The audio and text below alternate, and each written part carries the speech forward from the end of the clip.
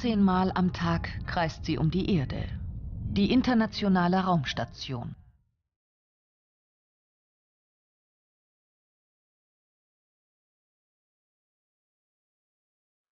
Am Ende des vergangenen Jahrtausends wurde mit dem Bau begonnen. Bald soll sie fertig sein. Mehr als 170 Menschen haben hier oben gelebt. Manche ein halbes Jahr und länger. Die Bauteile kommen aus vielen Ländern. Erst in der Erdumlaufbahn wird daraus ein Ganzes.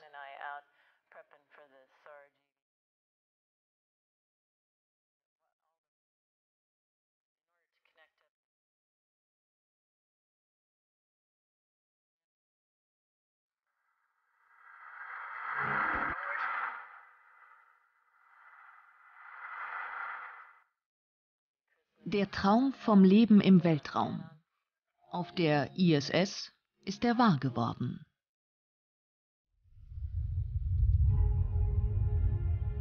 Die Geschichte der ISS beginnt in Moskau, in den schwierigen Jahren nach dem Zusammenbruch der Sowjetunion. NASA-Manager Jesko von Puttkamer hat den Wettlauf der Supermächte zum Mond erlebt. Nach dem Kalten Krieg hilft er, die Rivalität zu überwinden. Seit 1993 sind Russland und die USA Partner im All. Als wir ihnen vorschlugen, doch mitzumachen an unserer Raumstation, die damals noch Freedom hieß, sich ganz schlau überlegt, Mensch, wir haben zwar kein Geld, aber wir, können, wir haben Bauteile herumlegen, die können wir den Amerikanern anbieten. In Moskau lagern nach dem Ende der Sowjetunion Bauteile für eine neue Raumstation. Den Russen ist das Geld ausgegangen, sie fertig zu bauen. Auch die NASA kommt mit den Plänen für eine eigene Raumstation nicht weiter. Die ehemaligen Konkurrenten tun sich zusammen. Gemeinsam wollen sie eine internationale Raumstation bauen. Mit amerikanischem Geld wird in Moskau das erste Modul fertiggestellt. Anfang der 90er Jahre schickt die NASA die ersten Mitarbeiter zu den neuen Geschäftspartnern nach Moskau. Da waren wir also noch ziemlich erschlagen äh, von der Erkenntnis, dass wir überhaupt hier waren. Es war alles doch noch äh, sehr sowjetisch. Es war kalt hier drin. Es konnte nicht geheizt werden, weil kein Geld für Heizung da war. Und alle die Manager, die trugen dicke Pullover. Ähm, das, das war mein erster Eindruck. Aber äh, da kamen also NASA-Leute an, die den Russen sehr arrogant vorkamen. Und sie selber, nach dem Zusammenbruch der Sowjetunion, standen hier praktisch vor dem Nichts. Das waren Menschen, die jahrzehntelang äh, an einem äh, Raumfahrtprogramm gearbeitet haben, das von 1945, 1946 ab ständig Sensationen praktisch geliefert hat. Und wir kamen herüber und dachten, das sind alles Kommunisten. Ein Hotel im Zentrum der russischen Hauptstadt wird zum Hauptquartier für die Leute von der NASA.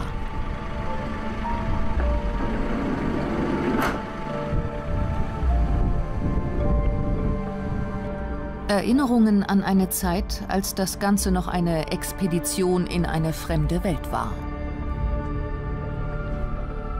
Es wurden spezielle NASA-Unterkünfte hergerichtet. Ein ganzes, das ganze Stockwerk wurde reserviert.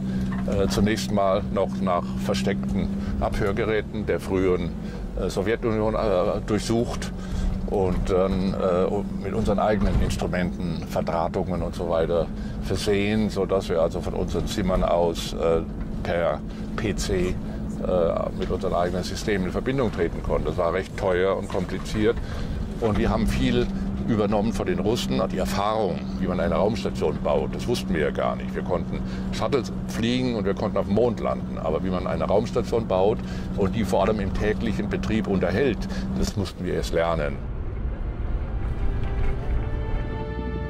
Der 3. Februar 1994 ist ein historischer Tag in der Geschichte der neuen Partnerschaft. Zum ersten Mal fliegt ein Kosmonaut an Bord eines Space Shuttles mit. Für den Mann in der zweiten Reihe, Sergei Krikaljov, ist es der dritte Raumflug. Er hat weit mehr Tage im Weltraum verbracht als seine fünf amerikanischen Kollegen zusammen.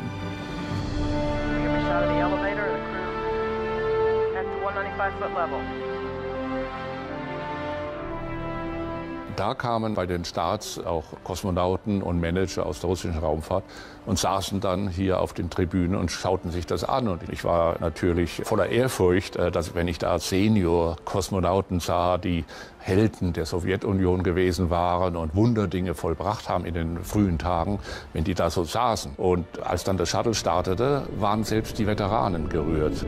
Booster ignition and liftoff of Discovery on a bold new era of spaceflight between the United States and Russia.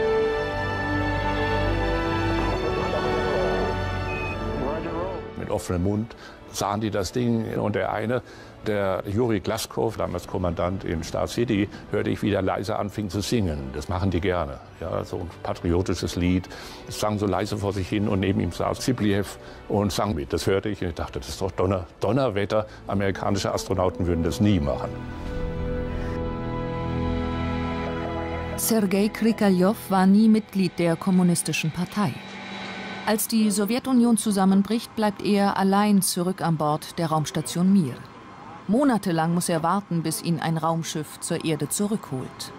Krikalow kam uns vor wie eben der typische Jungpionier, der Mut zeigte, so ein bisschen im Stil von Gagarin und aufgeschlossen war auch dem Westen gegenüber. Er hat auch diese Ruhe, die innere Ruhe, die ihn ermöglicht, 200 Tage und länger im Weltraum zuzubringen und dann gleich nochmal zu fliegen. Raumfahrer wie Krikaljov braucht man, wenn man Expeditionen zum Mars machen will. Von so viel Erfahrung sind die US-Astronauten noch weit entfernt. Aber sie geben sich Mühe und sie passen sich den russischen Sitten an.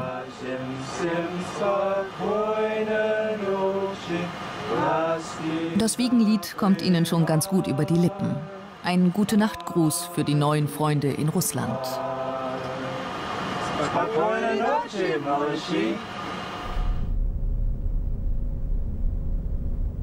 Was den Amerikanern fehlt, ist Langzeiterfahrung im All.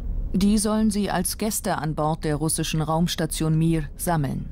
Ein Härtetest, denn die Mir hat ihre besten Tage längst hinter sich. Der allererste amerikanische Astronaut, Dr. Norm Thackett, äh, der war ziemlich erschüttert. Äh, der hatte nur am Boden trainiert, hier in Sternstädtchen in der Nähe äh, an Geräten, die völlig sauber und neu waren oder ziemlich neu waren. Und äh, oben in der Mir, da hat er nur Zustände vorgefunden. Äh, die selbst einem Amerikaner vielleicht äh, etwas zu viel wurden, wenn das nicht gewöhnt war. Ersatzteile, die man brauchte, wurden nicht gefunden, weil die alle in dem Durcheinander irgendwo lagen. Man hat erst viel später zum Beispiel einen Laptop gefunden, der längst da in dem nicht mehr länger benutzbaren Klo lag. Das Klo war dann zum Speicherraum geworden, war bis zur Decke vollgepfropft mit allem möglichen alten Zeug und verschiedene Leitungen mit Kühlflüssigkeit waren allmählich korrodiert und da gab es dann auch schon kleine Lecks, sodass denen die Augen tränten. Und er als Arzt hat natürlich solche Sachen sofort bemängelt und später dann gesagt, so geht das nicht. Und das ist ihm dann doch nicht so besonders gut angerechnet worden, weil dann seine Kollegen gesagt haben, wenn dich das alles anegelt, warum bist du überhaupt Astronaut geworden? Das ist nun mal ein schweres Leben. Und die Russen, die verstanden schon, äh, diese Raumstation zu betreiben.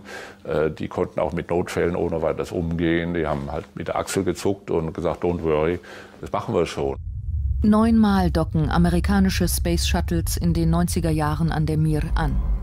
Das Besuchsprogramm kostet die NASA mehr als 400 Millionen Dollar. Dafür dürfen sieben Astronauten jeweils ein halbes Jahr an Bord bleiben. Die Mir wird international, denn auch Kanadier und Europäer besuchen die Station. Mit gut zahlenden Ausländern hält sich die russische Raumfahrt in der Krise am Leben.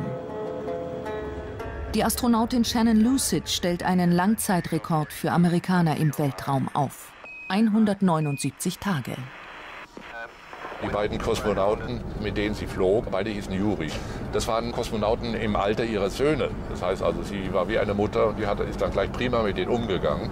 Und zwar hat sie dieses Jello immer gerne gemocht. Eine typisch amerikanische Sache.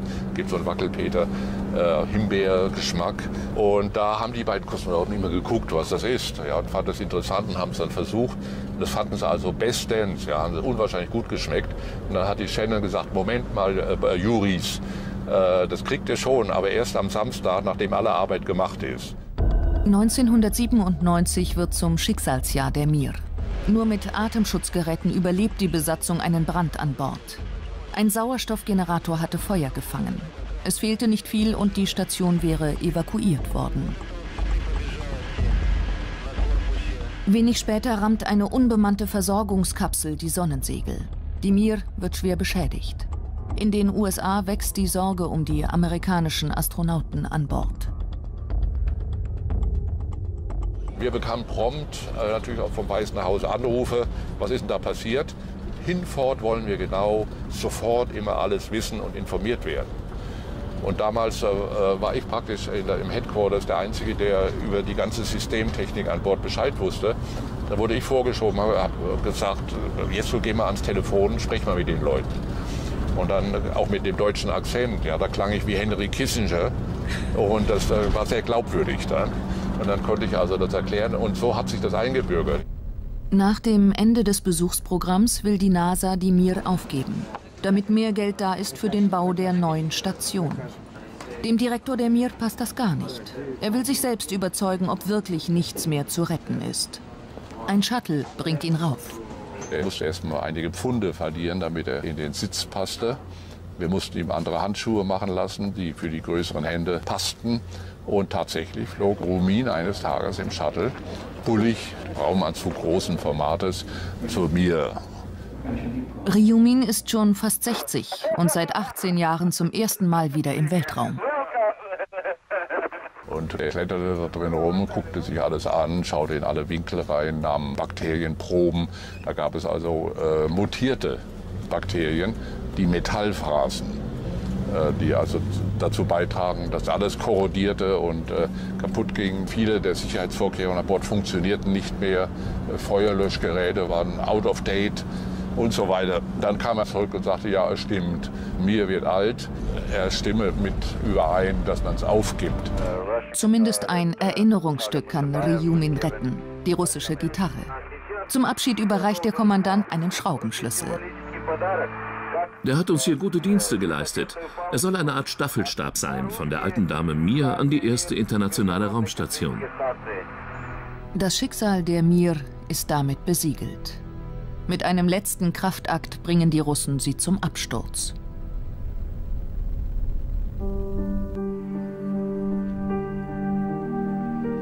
Im Sternenstädtchen bei Moskau beginnt ein neues Zeitalter. Die Amerikaner kommen.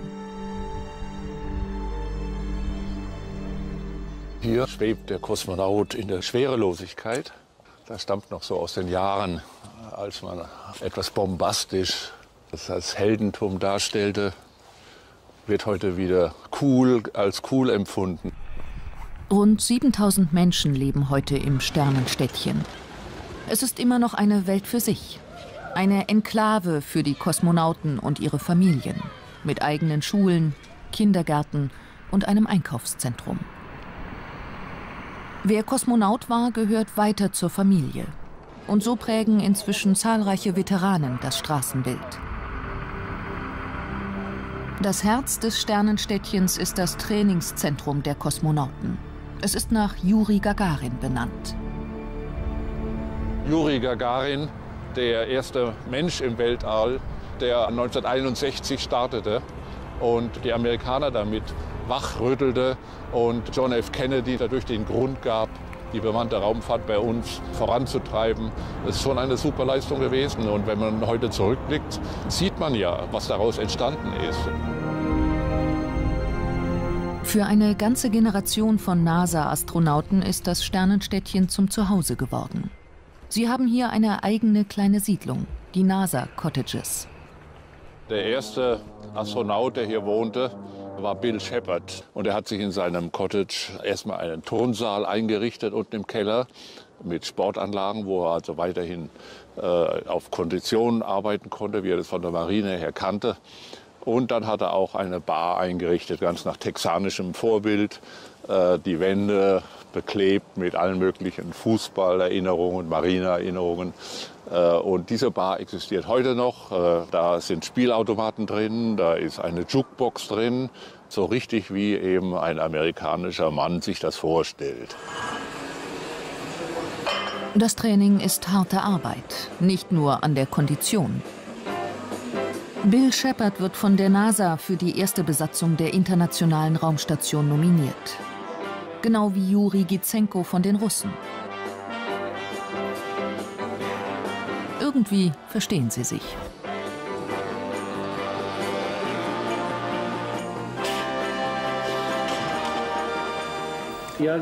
Ich spreche mit ihm Russisch und er mit mir Englisch. Das Leben auf der Raumstation kann jederzeit zum Ernstfall werden. Zum Beispiel, wenn ein Meteorit einschlägt und die Mannschaft zur Rückkehr zwingt. Die Russen bereiten sich auf alle erdenklichen Notfälle vor. Auch auf Landungen im sibirischen Winter.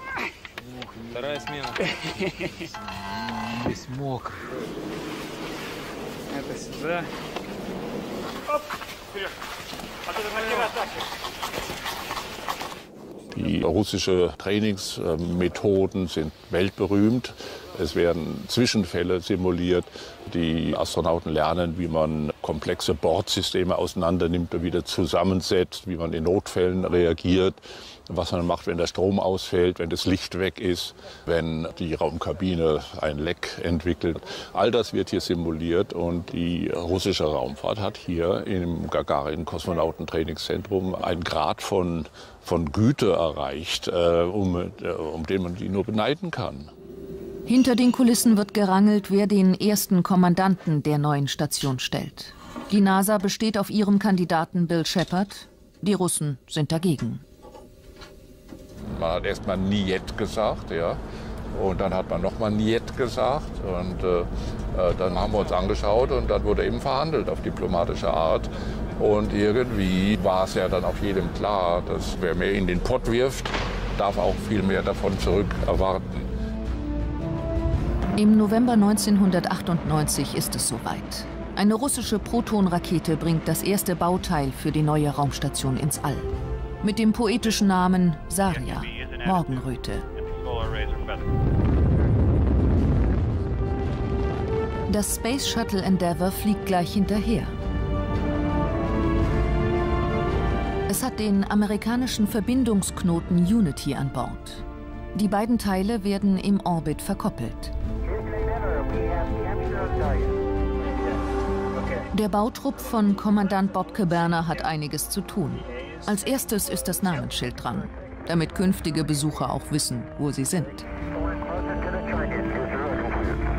Drei Tage und zwei Weltraumspaziergänge später ist die Station bereit für die ersten Besucher. Kommandant Caberner verzichtet auf das Recht, die Station als erster zu betreten. Gemeinsam mit Sergei Krikaljow schwebt er durch die Luke.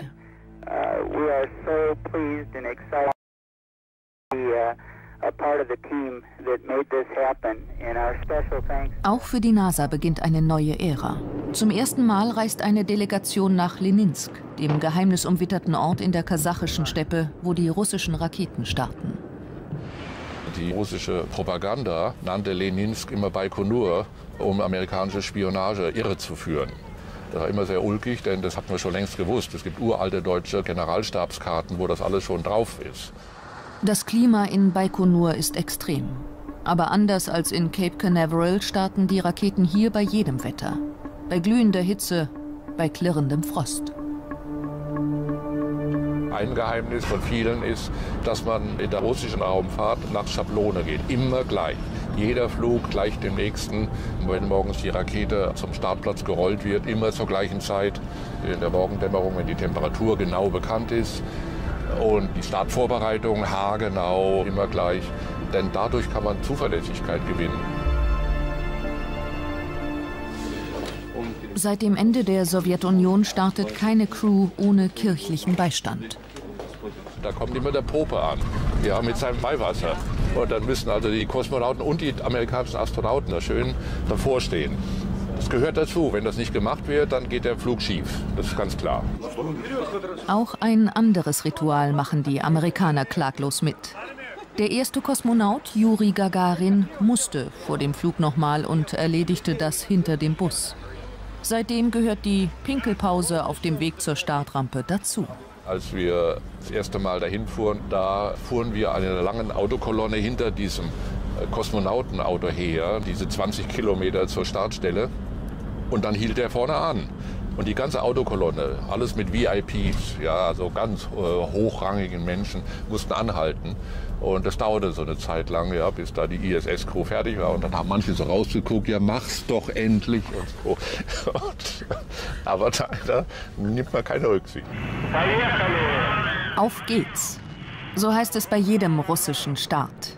Auch als im Oktober 2000 die erste Langzeitbesatzung zur ISS fliegt. Die drei haben sich zusammengerauft. Nur einen klangvollen Namen hat die neue Station noch nicht. Jedes Partnerland äh, brachte seine eigenen Vorschläge ein.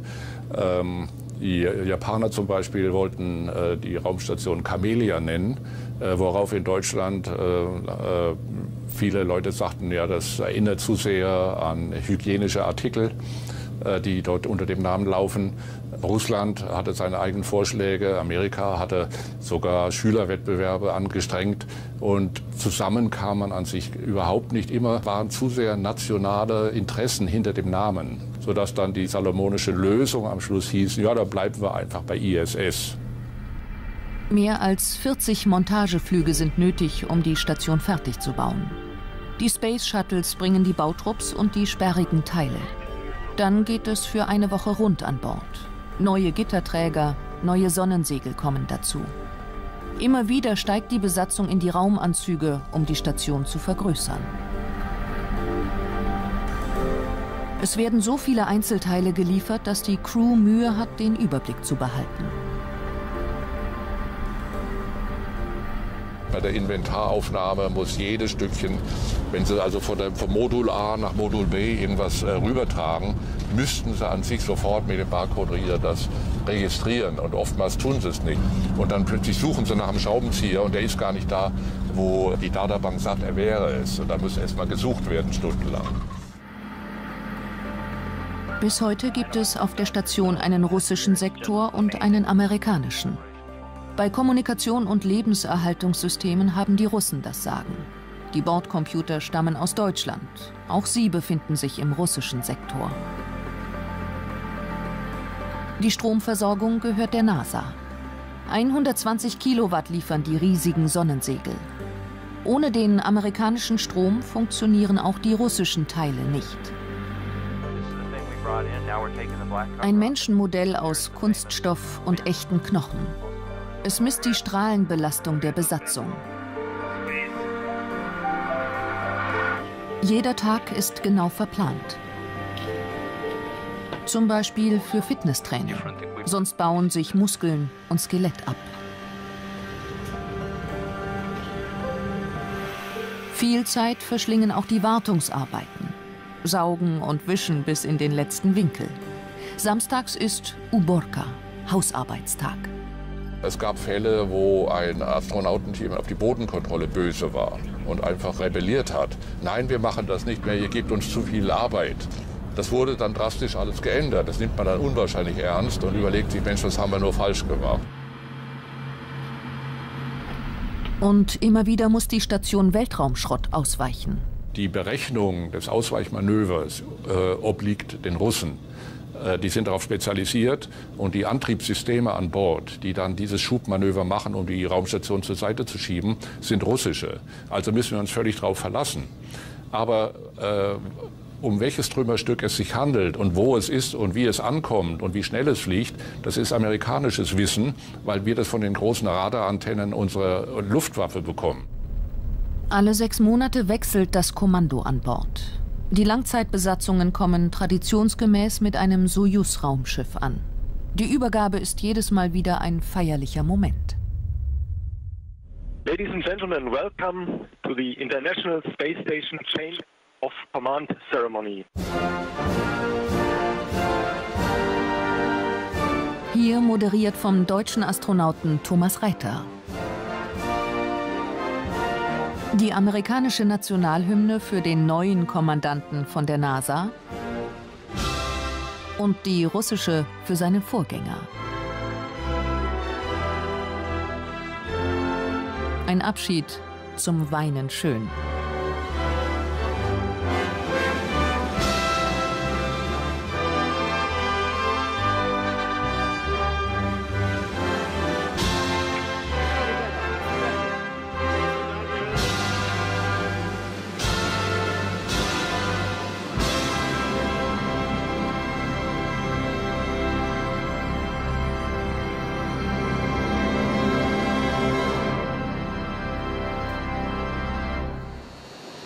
Wenn eine Langzeitbesatzung ins All fliegt, dann liegen mehr als zwei Jahre gemeinsames Training hinter ihnen. Männer und Frauen haben die gleichen Pflichten, auch bei den schweren Montagearbeiten. Kommandantin Peggy Whitson trainiert für die Außenbordarbeiten genau wie ihr Kollege Juri Malenchenko. Wenn sie dann in den Weltraum fliegen, kennen die sich so gut, ähm, völlig, völlig hautnah sozusagen. Ähm, die müssen sich aufeinander verlassen können. Sonst äh, klappt das nicht, sodass also es keine Überraschungen bisher gegeben hat, dass jemand wie Peggy Whitson gesagt hat, nein, ich mag den Ivan oder den Juri nicht. Sowas kommt gar nicht vor, weil man sich so gut versteht. Man gehört einem Beruf an, der so einmalig ist, dass man vieles von dem, was man von zu Hause mitgebracht hat, über Bord geworfen hat. Wer in den Weltraum fliegt, weiß, es kann schnell lebensgefährlich werden. Man lernt, sich aufeinander absolut zu verlassen. Das sagt sich so leicht hin. Wo man doch auf der Erde gewöhnt ist, selber in Kontrolle zu bleiben, muss man ablegen. Man muss zu dem Punkt kommen, wo man absolut den anderen vertraut, dass sie es dann schon richtig machen. Erst dann wirkt die Teamarbeit. Das Leben an Bord ist hart. Da soll wenigstens das Essen schmecken. Ein Jahr bevor die Mission losgeht, bittet die NASA zum Test. Jeder Astronaut kann eine Wunschliste zusammenstellen und bekommt zwölf Monate später an Bord mit dem Nachschub sein individuelles Fresspaket. Essen im Weltraum ist eine Wissenschaft für sich, auch bei den Russen. Es ist so, dass man im Weltraum den Geschmack ändert oder verliert sogar. In der Gewichtslosigkeit steigen die Düfte, die ja auf der Erde leichter sind und in die Nase steigen, nicht mehr auf. Das heißt, ich esse, aber ich rieche nicht mehr so. Also möchte ich irgendwie die Mundgeschmacknerven anregen durch scharfe Gewürze. Und da haben die Russen eine Meisterschaft drin entwickelt, ja, die richtigen Gewürze mitzuliefern und die mögen die Amerikaner sehr. Manche munkeln, dass da immer etwas Alkohol an Bord ist. Das sind kulturelle Unterschiede. Der Russe muss Alkohol an Bord haben für den Fall, dass zu Hause jemand stirbt. Er kann dann nicht zur Beerdigung gehen. Er kann aber drauf trinken. Das gehört sich so. Alle drei Monate kommt der Nachschub mit russischen Frachtschiffen. Platz ist darin eigentlich nie genug. Die Zuladung wird vorher genau besprochen und die sind manchmal sehr dankbar, wenn uns die Russen erlauben, auch ein bisschen amerikanische Nutzlast an Bord des Progress unterzubringen. Das wird gefeilscht um jedes Winkelchen, um jedes Gramm. Ähm, wichtige Dinge, da haben wir kein Problem, also auch medizinischer Nachschub und so weiter. Äh, manche andere Sachen, da sagt der Russe, es geht leider nicht, da sind wir schon. Mit dem europäischen Columbus-Modul und dem japanischen Forschungslabor Kibo ist die Station fast komplett. Japan und Europa sind nun auch Hausherren auf der ISS und dürfen regelmäßig Astronauten entsenden. Europa trägt seit kurzem durch ein eigenes Frachtraumschiff zur Versorgung bei.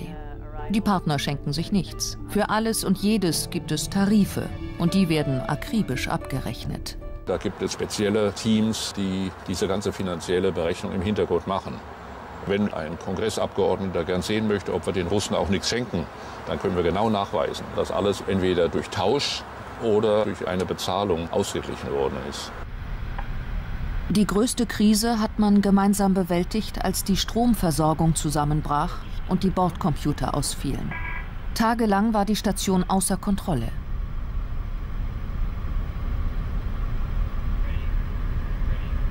Green Flight Im russischen Kontrollzentrum gibt es mittlerweile eine Außenstelle der NASA. Kurze Wege erleichtern die Kommunikation. In jüngster Zeit sind mehrfach Soyuz-Kapseln vom Kurs abgekommen und weit ab vom geplanten Landeplatz hart aufgeschlagen. Amerikanische Astronauten gerieten dabei in Lebensgefahr. Die Pannen der sonst so zuverlässigen Soyuz könnten ungelegener nicht kommen. Denn wenn die Space Shuttles stillgelegt werden, müssen die Russen allein den Zugang zur ISS sicherstellen. Als Ingenieur natürlich fühlt man Wehmut. Es scheint wie ein Schritt nach hinten statt nach vorne zu sein. Aber dann kommt ja auch die Überlegung, dass man Sicherheit und Zuverlässigkeit haben will. Und äh, da sind äh, die Sojus-Raumschiffe unschlagbar, sodass wir, wenn der Shuttle nicht mehr fliegen sollte, total auf Sojus angewiesen sind. Und natürlich sitzen dann die Russen in the driver's seat. Die Rückkehr einer Langzeitbesatzung ist immer wieder ein Ereignis. Raumfahrtprominenz aus West und Ost versammelt sich im russischen Kontrollzentrum. Sie verfolgen live die Landung in Kasachstan. Kommandant Wolko und Bordingenieur Kononenko waren ein halbes Jahr auf der Raumstation. Der dritte Mann ist US-Bürger. Richard Garriott hat 20 Millionen Dollar für eine Woche im All bezahlt. Die Russen hatten auf dem Gebiet der Raumstation viel, viel mehr Erfahrung als wir. Wir hatten viel mehr Erfahrung auf dem Gebiet des Space Shuttle Fliegens. Und äh, so haben wir uns zusammengetan und jeder hat versucht, vom anderen zu lernen. Und daraus ist äh, diese unwahrscheinlich schöne und gute, äh, funktionierende Kooperation von heute äh, entstanden. Warten auf die Sondermaschine aus Kasachstan auf einem militärischen Flugfeld nahe Moskau. Die Rückkehrer aus dem All werden gleich nach der Landung ins Sternenstädtchen gebracht. Es ist ein denkwürdiger Tag. Zum ersten Mal kehren zwei Männer aus dem All zurück, deren Väter auch schon Raumfahrer waren.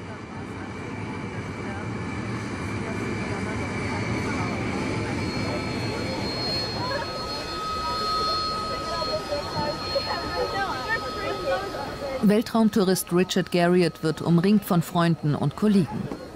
Obwohl Amerikaner musste er sein Ticket in den Weltraum bei den Russen kaufen. Denn die NASA darf keine zahlenden Gäste mitnehmen. Unter den Gästen auch Alexei Leonov, der Mann, der einst für die Sowjets auf dem Mond landen sollte. Er ist inzwischen ein erfolgreicher Geschäftsmann. Das ist eine neue Generation. Und jeder, der jetzt hochfliegt, kann Englisch. Kubasov und ich, wir waren damals die Einzigen, die Englisch konnten. Und außer uns überhaupt niemand. Aber jetzt, schon in der Vorbereitung, lernen sie es alle.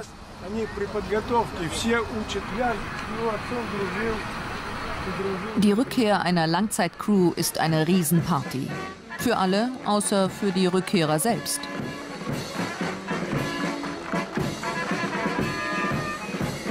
Denn die sind zu schwach auf den Beinen, um mitzufeiern und gehen gleich weiter zur medizinischen Untersuchung.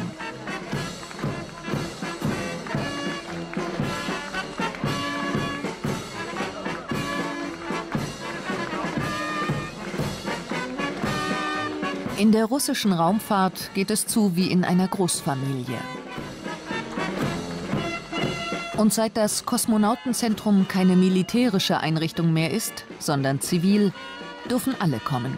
Geschäftspartner, Familie, Freunde.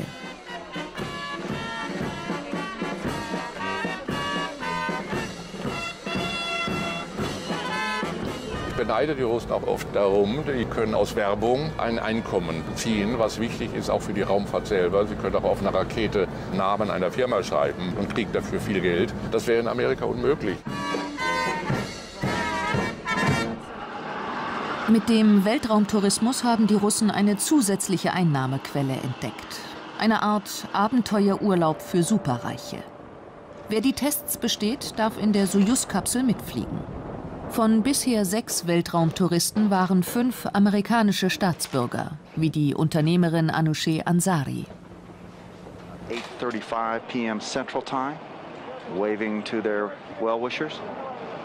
Der nächste Kandidat steht schon auf der Liste. Die Nachfrage ist groß und die Preise steigen. Jetzt muss schon 30 Millionen Dollar auf den Tisch blättern, wer mit der Soyuz zur Raumstation will. Die NASA hat das Nachsehen. Wir sind gesetzlich äh, gezwungen, so zu bleiben, wie wir sind, weil Space Shuttle öffentliche Verkehrsmittel sind. Der Steuerzahler hat dafür bezahlt. Und wenn da nun ein privater Tourist mitfliegt, nur weil er viel Geld hat, aber die arme Oma in Pasadena, Kalifornien, die zwar ihre Steuergelder bezahlt hat, aber niemals in den Weltraum fliegen kann, äh, das wäre unethisch und unfair. Da würde unser Kongress sagen, nein, das geht nicht. Offiziell dürfen sich die Touristen nur im russischen Sektor der Station aufhalten. Das hat bisher noch keinen gestört.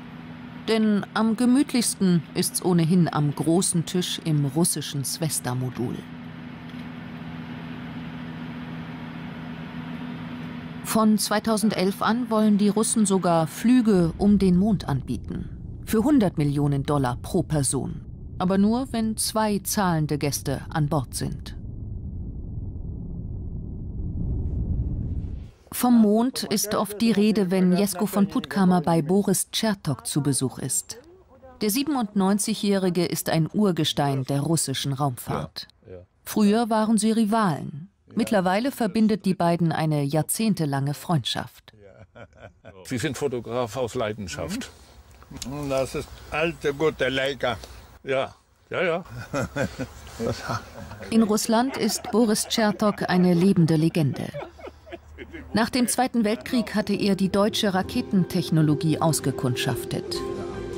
Fast 40 Jahre lang spielte er eine Schlüsselrolle in der Raumfahrt. Schon Mitte der 50er Jahre, als die Sowjets den USA weit voraus waren. Er hat alles erlebt. Die Triumphe und die Katastrophen. Seine große Sorge, dass der Weltraum zum Tummelplatz des Militärs werden könnte. Heutzutage ist bewiesen, dass der Kosmos ein Ort werden kann für den sogenannten Krieg der Sterne. Es existieren bereits Waffen auf der Grundlage neuer wissenschaftlicher Erkenntnisse. Waffen, die man im Konfliktfall sehr leicht im Weltall einsetzen kann. Im Gegensatz zu den Atomraketen ist die Verwendung dieser Waffen nicht unzulässig. Deshalb ist es erforderlich, dass durch internationale Vereinbarungen kategorisch verboten wird, den Weltraum für sogenannte Kriege der Sterne zu nutzen, weil das zu einer neuen Katastrophe für die gesamte Menschheit führen kann. Boris Tschertok wünscht sich, dass es nie wieder einen Wettlauf im Weltraum gibt. Die nationalen Raumfahrtagenturen sollen sich alle zusammenschließen, meint er und endlich mal den Müll aus der Erdumlaufbahn wegräumen. Chertok hat seine Erinnerungen aufgeschrieben. Vier dickleibige Bände bisher.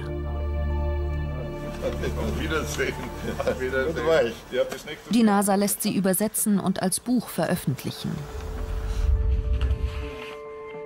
Das Vermächtnis der Pionierjahre beschäftigt auch die NASA-Historiker in Huntsville. Erst kürzlich wurden Werner von Brauns Weekly Notes wiederentdeckt. Jahrzehntelang galten sie als verschollen. Während der Apollo-Jahre hatten von Brauns Abteilungsleiter jede Woche berichten müssen. Mehr als 15.000 dieser Weekly Notes sollen jetzt ausgewertet werden damit die Ingenieure von heute von den Lösungen profitieren, die ihre Vorgänger vor 40 Jahren gefunden haben. Manches vergessene Problem taucht dabei auf. Die Apollo-Mondlandefähren hatten seinerzeit Plutoniumbatterien an Bord. Sie lieferten den Strom für die wissenschaftlichen Experimente. Sechs von diesen Batterien stehen noch heute mit den zurückgebliebenen Landegestellen auf dem Mond. Eine aber kam zur Erde zurück. Und das war nicht vorgesehen. Als nun Apollo 13 abgebrochen wurde und der Mondlander als Lifeboat, als Rettungsboot benutzt wurde, äh, war, kam auch diese Plutoniumkapsel mit zurück, die außen an einem der vier Beine saß. Kurz vor der Landung im Meer hatten die Astronauten die Mondfähre abgesprengt. Sie fiel mit dem giftigen Plutonium ins Meer. Und da liegt es heute noch. gleich am nächsten Tag fuhren Schiffe über die Stelle und haben radioaktive Messungen durchgeführt und haben also keine Spuren festgestellt. Das liegt in einer Tiefe, die man äh, damals eben nicht erreichen konnte. Und dann wurde eben nie danach gesucht oder es wurde gesucht, aber niemals irgendwas gefunden. Nach und nach leert sich die große Halle, in der die Bauteile für die ISS gelagert wurden. All diese Module wurden in verschiedenen Ländern rund um die Welt gebaut. Und im Weltraum kommen sie zum ersten Mal zusammen und sie passen tatsächlich. Unter technischen Aspekten ist das fantastisch. Und wenn Sie sich dann noch die verschiedenen Kulturen vorstellen und dass seit dem Jahr 2000 ständig internationale Besatzungen auf der ISS leben und arbeiten, das ist großartig. Wenn die internationale Raumstation fertig ist, sollen die Space Shuttles ausgemustert werden. Sie sind nicht zukunftsfähig. Zu sensibel, zu wartungsintensiv, zu teuer. Nach 30 Jahren geht die Epoche der wiederverwendbaren Raumfähren zu Ende. Der Abschied fällt vielen schwer.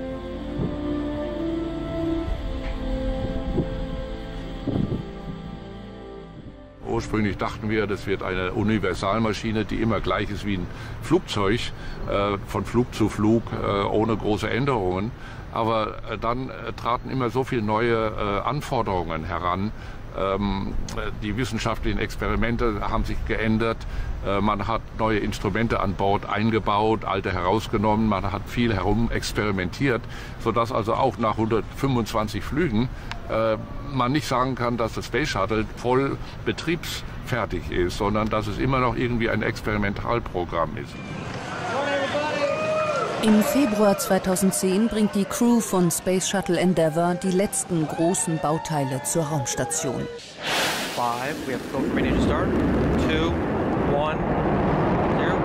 Booster ignition and liftoff of Shuttle Endeavour with NASA's final space station crew compartment that brings a bay window view to our celestial backyard. Es ist der letzte Start bei Nacht in der Geschichte des Shuttle-Programms. Für Minuten wird es taghell, da wo die Endeavour in den Himmel steigt.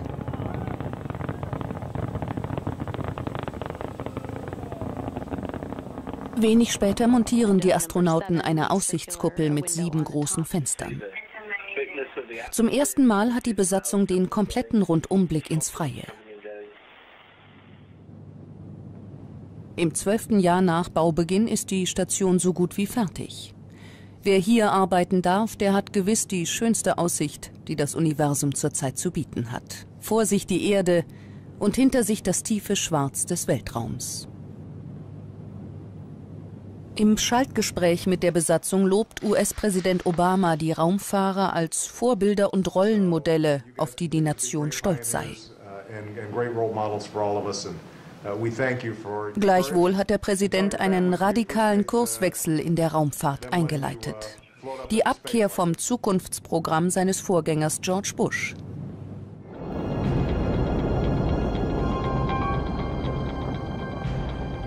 Endlich wieder raus aus der Erdumlaufbahn. Das war Bushs Vision für die Zukunft der NASA. Mit einer neuen Generation von Raketen und Raumschiffen. Die Raumkapsel Orion sollte vier Menschen nicht nur in die Erdumlaufbahn, sondern zu fernen Himmelskörpern bringen. Zurück zum Mond und weiter zum Mars. Das waren die Ziele des Constellation Zukunftsprogramms.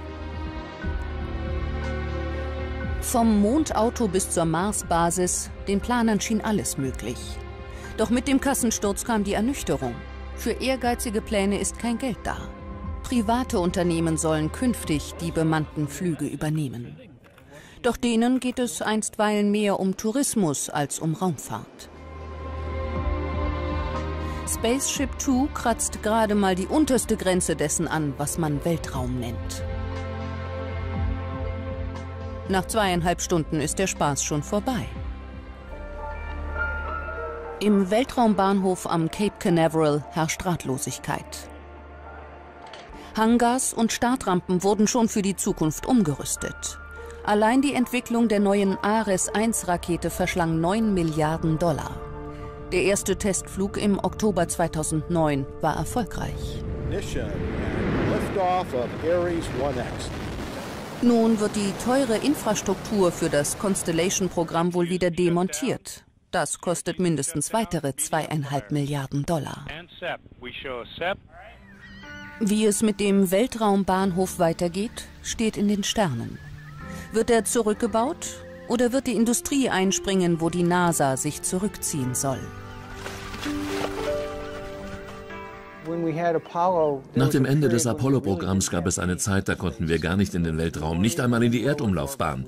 Wir hatten auch keine internationale Partnerschaft. Jetzt ist es anders. Jetzt haben wir die ISS und die hat ein ungeheures Entwicklungspotenzial. Mithilfe der Russen kann die Raumstation weiter betrieben werden. Europa könnte sein hochgelobtes Frachtraumschiff für bemannte Flüge umrüsten. Und neue Partner wie Indien, China und Korea könnten dazukommen. Die Station soll noch mindestens zehn Jahre erhalten bleiben, bis alle klarer sehen, wie es weitergeht. Denn nicht nur Washington, auch Russland hat Pläne für eine Zukunft im Weltraum. Ich denke, dass die Entwicklung bei uns in Richtung neuer Raketen und neuer Orbitalstationen gehen wird oder sogar interplanetare Stationen. Ich bin sicher, wir werden über die Erdumlaufbahn hinausgehen. Der Mars ist für die Russen das attraktivste Ziel. In Moskau hat ein Langzeitversuch begonnen. Freiwillige sollen 500 Tage in der Isolation leben. So lange dauert ein Flug zum roten Planeten und zurück. Sie haben alles dabei, was unterwegs gebraucht wird. Selbst wenn jemand krank werden sollte, sind sie auf sich allein gestellt. Wie im Weltraum. Ob es irgendwann einmal wirklich losgeht, das ist auch in Moskau eine Frage des Geldes. Der Traum von Flügen zum Mond, Mars und darüber hinaus, er ist aufgeschoben. Aufgegeben ist er nicht glaube nicht, dass jemals der Moment kommt, wo wir auf dem Mars einen Strich ziehen im Sand und sagen, bis hierher und nicht weiter. Das, das ist nicht menschlich, das ist nicht unsere Art. Der nächste Schritt geht dann hinaus in den Asteroidengürtel, der zwischen Mars und Jupiter die Sonne umkreist. Also es wird nie aufhören, äh, der Zug zu den Sternen. Und äh, eines Tages äh, wird man die Technik haben, auch zu, zum nächsten Stern zu fliegen, zu Alpha Centauri. Die internationale Raumstation, sie ist ein Anfang, ein Sprungbrett für Reisen in den Weltraum. Denn wenn man erst einmal in der Erdumlaufbahn ist, kommt man leichter anderswo hin.